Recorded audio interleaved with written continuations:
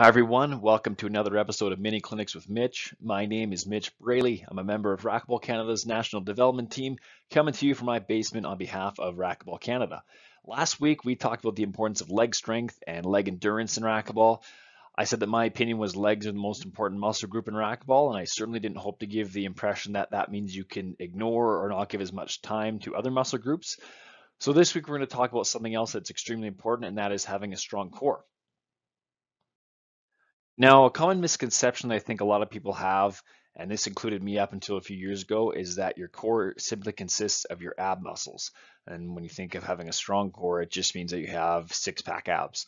And that's certainly not the case. It encompasses so much more than that.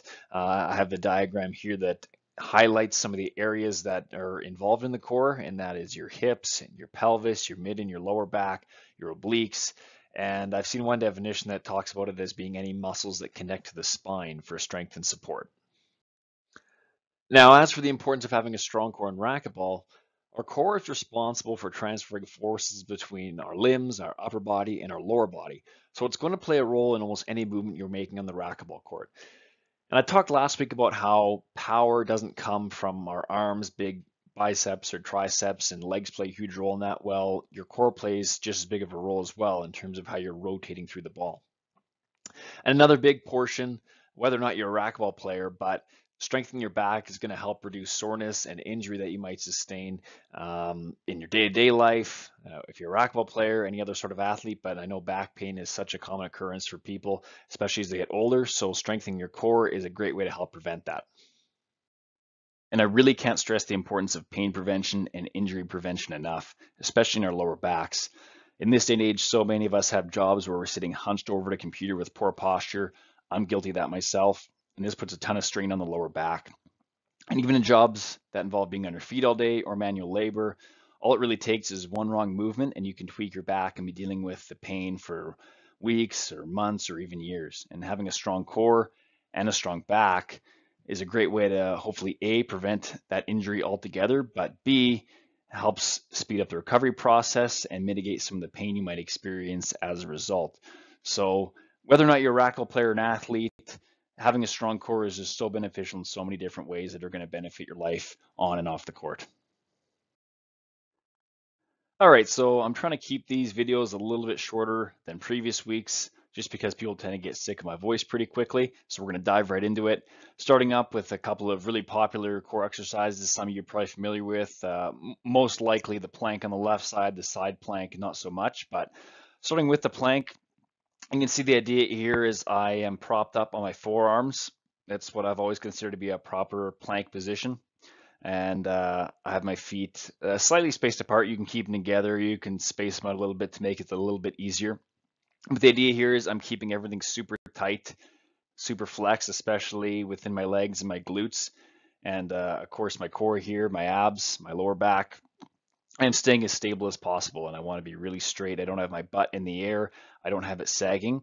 And uh, plank is one of those exercises you can uh, hold for as long as you want. You can hold for 30 seconds and rest for 10 seconds, uh, looking at some of the interval training and Tabata ideas we talked about last week. But there's all sorts of different ways that you can play with it and challenge yourself to try and do it as long as possible. And its cousin is the side plank, and this is really going to work those oblique muscles in here. So again, I'm very straight, as you can see, propped up. And as I am propped up, I'm flexing on my muscles again, keeping everything super, super tight. I'm not loose. I'm not, uh, again, pushing my hip too far up. I'm not letting it sag too far down. And it really, like I said, targets those oblique muscles in here as opposed to the plank, which tends to work uh, more inside the core and that lower and that mid back, uh, along with inside your, your pelvis and your hips and your groin. Another exercise here that probably won't be new to anybody are crunches. They're super, super common, probably the most well-known ab exercise. And there's a reason they're so popular and they are very effective and very simple. A couple different variations here that I'm demonstrating, but really important key is I have my legs bent here and I have my feet planted firmly on the ground. Uh, sometimes if you're starting out and don't quite have the core strength built up, a good way is to put some weight on your feet so they're not uh, coming up in the air as you're coming up. So you want them to stay planted firmly on the ground, or you can even have somebody uh, press down on them for you. But uh, The tougher variation here that I have shown is having my arms crossed across my chest. That's uh, one of the more difficult ways to do it, but a little bit easier is having my arms extended out to my sides. But I'm not coming all the way up and trying to touch my chest to my knees or to my legs, which is often more referred to as a sit up because when you do come up that far, you get a bit of a rest period at that peak point and you don't want to do that. You don't want to be resting. You want your abs to constantly be under stress during this exercise to make them a little bit more difficult. So that's why you can see I'm not coming up all the way, I'm coming up, I'm getting down quickly, and then uh, I'm hashing out those reps. And uh, again, whatever you feel comfortable with, we talked about last week some of the ways to structure the workouts uh, with your legs. So when you're looking at something like crunches, where you can do 10 sets of, or three sets of 10, or three sets of 15, whatever you feel is appropriate, just enough that you can get that burn and really feel it start to work your abs. Dead bugs are a lesser known exercise. I think they're starting to get a little bit more popular in recent years. I've been probably doing them for really only about maybe four or five or so, but they're a terrific core exercise and they're super effective. Uh, I tried to take a couple of different angles here just to demonstrate them best because they can be a little bit difficult to describe, but as you can see, I'm lying flat on my back. I have that 90 degree angle formed with my legs raised. And what I'm gonna do is I'm gonna extend a leg out while extending the opposite arm back behind myself, as you can see. And this is great for targeting the oblique area, targets the, the groin as well within that pelvis and the hips. And it also keeps the abs under stress the entire time. So I talked about that with the crunches, how you didn't want to come up too far because it gives you a bit of a rest period. Well, this is great with the dead bugs. The entire time you're in this pose, you're going to find that uh, it really does uh, burn your abs right here. Uh, and it does your lower back as well. You want to be flexing that, but you're really going to feel it in those abs. So you got abs, you got obliques, you got groin, you got lower back, as long as you're keeping it flexed and tight. Uh, so it's a really, really good exercise, and uh, there's a reason it's starting to become more popular uh, as of late. Leg raises are very simple, but they're also very effective. I'm showing a couple variations here with my arms on my chest to start with, and I'm going to move them down so that my arms are straight out by my sides, which is a little bit tougher. But this targets especially the lower abs right here, the groin, uh, and even the lower back as well. But you'll find after even 10, 11, 12 reps or so, you're really going to start to feel that burn right in those lower abs. So this is a super easy one to start doing. Uh, and to make it even a little bit more challenging, which I haven't demonstrated here, is to even prop yourself up between a couple of chairs or be hanging from a pull-up bar and then do the leg raise from a hanging position as well, which is even more difficult than lying on the floor here. Spider-Mans might not be the correct term for these. Uh, I'm not entirely sure myself, but that's what I refer to them as. And regardless, it is a awesome exercise.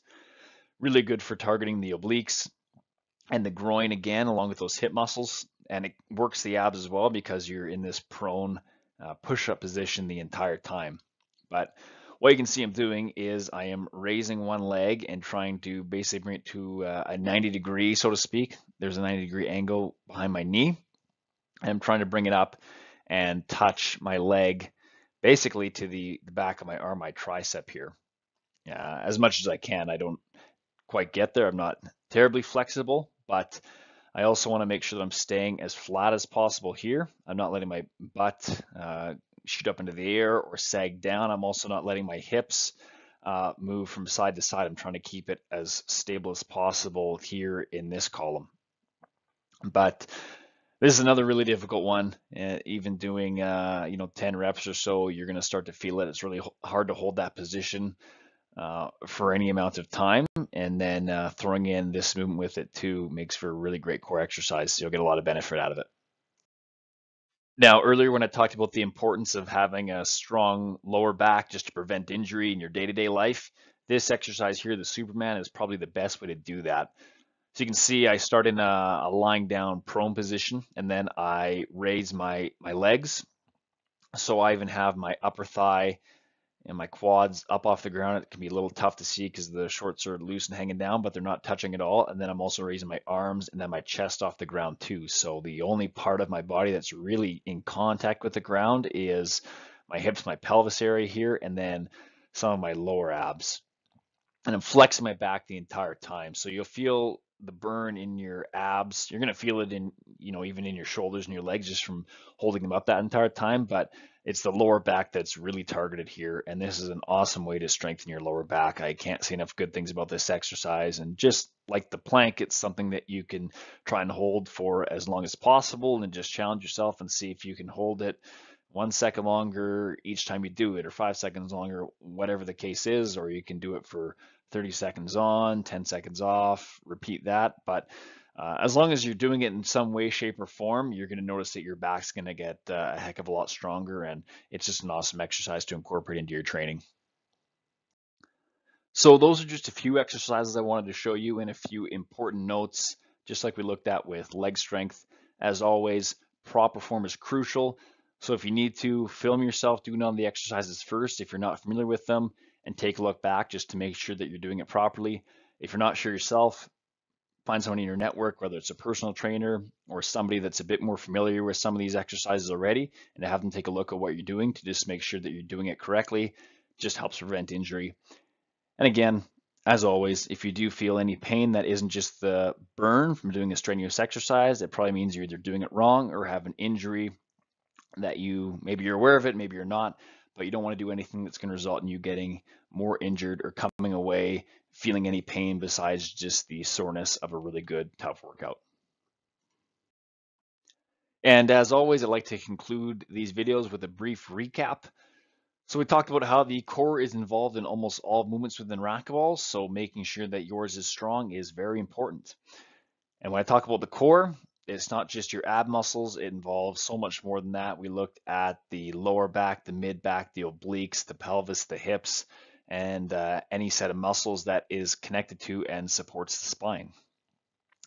So having a strong core is going to help increase your power, which everybody likes, your stability, and it's also going to help prevent injury, which you're going to thank yourself for uh, later. And even if you aren't training for racquetball, your body will thank you for strengthening your lower back just from our day-to-day lives, we put those backs under so much strain and so much stress. So reward them by strengthening them and making sure you're taking care of them to keep them healthy. And as always, make sure that you're using proper form. Again, that's all about injury prevention and getting the most you can out of every exercise that you're doing. That's all I have for today. My name is Mitch Braley.